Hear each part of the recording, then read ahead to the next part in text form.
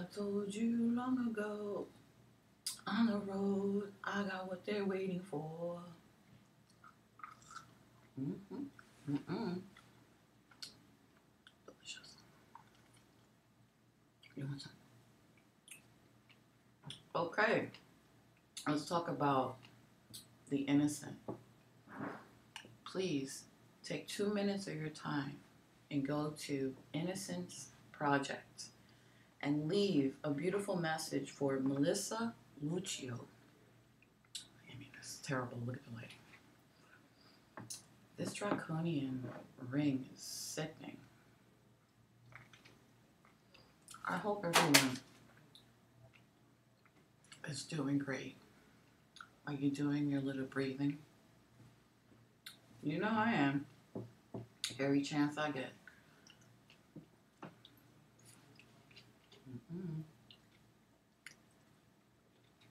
It does not go out to you, draconian momzillas. no. I stand for innocent mothers that have been proven innocent. And this poor woman has already spent 15 years behind bars because of you draconians. Please take the time and give her a visit. I love you, warriors. I hope you're doing well. Um, it's just a moment of my time to give you right now because I'm not home alone again. So I have to talk very low just in case they listen to what I'm saying to you.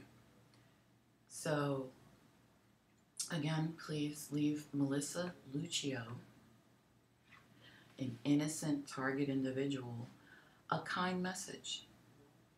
I will leave the link below. I love you guys, and I'll be back.